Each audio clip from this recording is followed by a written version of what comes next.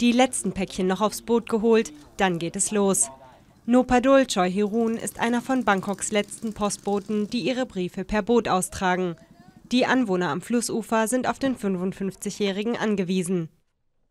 Es wäre sehr ungünstig für uns, keinen solchen Postboten zu haben. Wir benutzen Boote zum Pendeln, der Postbote auch, weil es sonst keine Straßen gibt. Der 55-Jährige durchquert den sumpfigen Kanal im Bangkok-Bezirk zweimal die Woche. Vor fünf Jahren ist der erfahrene Postbote auf das Boot umgestiegen. Damit gehört er zu den wenigen, die die Post noch so austragen. Nopadol gefällt seine Arbeit.